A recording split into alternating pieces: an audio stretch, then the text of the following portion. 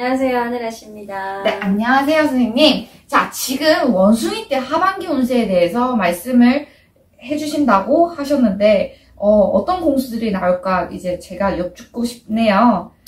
아, 어, 원숭이 띠 하반기는 네. 이성 간에, 네.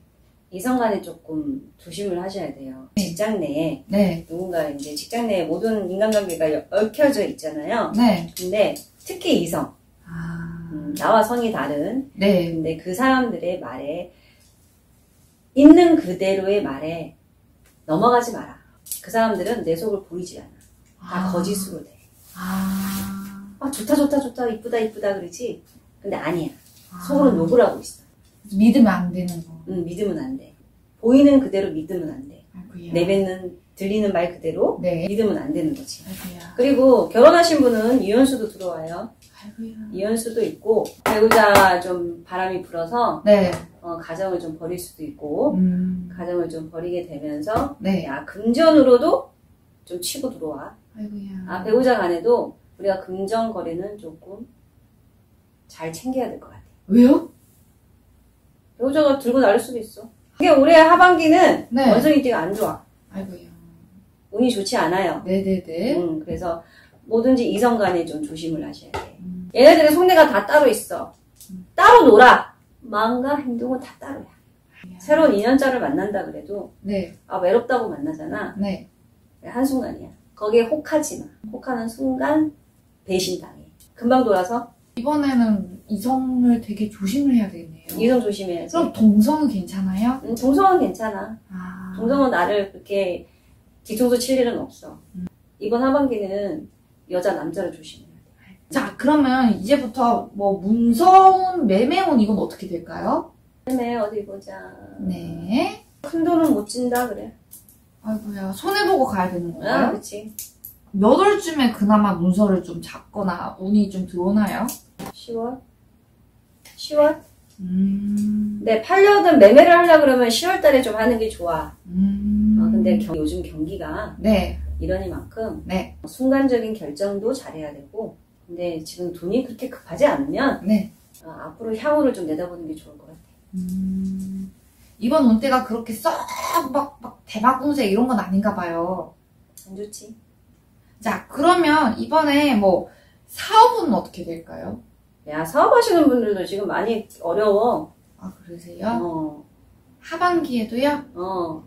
올해 하반기 좀 많이 어려워. 그러면 어떻게 하면 좀 괜찮아지거나 언제쯤 좀 괜찮아질까요? 9월달? 9월달 좀 빛이 보인다 그래. 아, 근데 그 빛도 잠깐일 거야. 반짝? 반짝? 응.